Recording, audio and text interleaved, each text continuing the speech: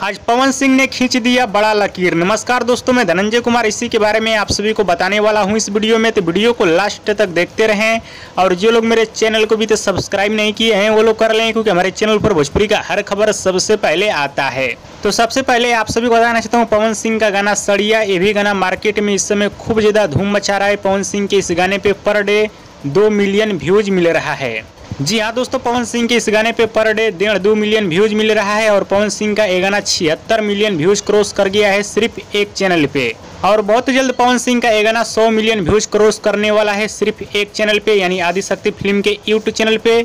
बाकी ये गाना 100 मिलियन व्यूज़ क्रॉस कर चुका है अलग अलग चैनल का व्यूज़ जोड़कर। अब चलिए आगे बढ़ते हैं पवन सिंह के महा रिकॉर्ड की तरफ़। हाल ही में भोजपुरी के पावर स्टार पवन सिंह ने स्त्री टू फ़िल्म में गाना गाए थे, जिस गाने का नाम है आई नहीं। ये गाना 300 मिलियन व्यूज़ क्रॉस कर गया यूट्यूब पे। जी हाँ दोस्तों, पवन सिंह का ये गाना 300 मिलियन व्यूज़ क्रॉस कर गया यूट्यूब पे और पवन सिंह का ये गाना 300 मिलियन वाला क्लब में शामिल हो गया। और पवन सिंह ने बॉलीवुड में गाना गाकर बना दिया महा रिकॉर्ड और पवन सिंह के इस गाने पे भी पर डे दो तीन मिलियन व्यूज़ मिल रहा है। हो सकता है पवन सिंह का ये गाना 400 मिलियन व्यूज़ क्रॉस कर सकता है। बाकी आप सभी को क्या लगता है, पवन सिंह का ये गाना 2025 आने से पहले 400 मिलियन व्यूज़ क्रॉस कर पाएगा या नहीं कर पाएगा, हमें नीचे कमेंट बॉक्स में ज़रूर बताइएगा। हाँ तो दोस्तों, अभी का बड़ी खबर यही है कि भोजपुरी के पावर स्टार पवन सिंह ने आज बहुत ही बड़ा रिकॉर्ड बना दिया।